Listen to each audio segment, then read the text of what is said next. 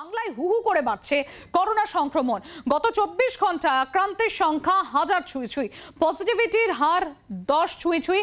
কলকাতায় পাঁচজনের মধ্যে একজন করোনায় আক্রান্ত। যথেষ্ট উদ্বেগের হু হু করে বাড়ছে কোভিড সংক্রমণ হার। কোভিডের গ্রাফ ঊর্ধ্বগামী গত চব্বিশ ঘণ্টা আক্রান্তের সংখ্যা হাজার ছুঁই ছুঁই। পজিটিভিটির রেট দশ ছুঁই ছুঁই। কলকাতায় পাঁচজনের মধ্যে একজন করোনায় আক্রান্ত।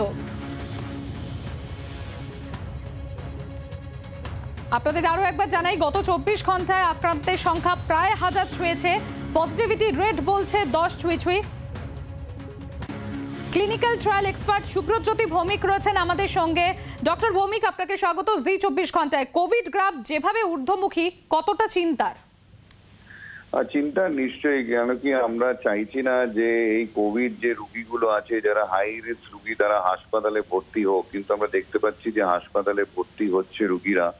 সবার কাছে আবারও বিনীত আবেদন থাকবে একটা আমি রিকোয়েস্ট করব যে আপনারা মাস্কগুলো পরুন। এখনও কিন্তু রাস্তাঘাটে লোকজন ভীষণ ঘুরে বেড়াচ্ছেন, তাদের মাস্ক পরাও তারা করছেন না।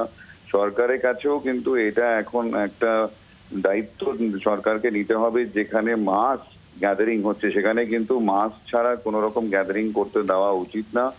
আর যারা এখনও থার্ড ডোজ নেবেন কি নেবেন না ভাবছেন, তাদের কাছে আবারও আমি বলব যে থার্ড ডোজটা নিন এবং ঘোরাঘুরিটা এই তিন চার সপ্তাহ একটু বন্ধ রাখুন। একটু যখন এত কার্ভটা বাড়ছে, আমরা বুঝতেই পারছি যে আমাদের মধ্যে অনেক ইনফেক্ট পেশেন্ট থাকতে পারে। তো আমি বলব যে দরকার না পড়লে খুব একটা ঘোরাঘুরি করবেন না বাইরে।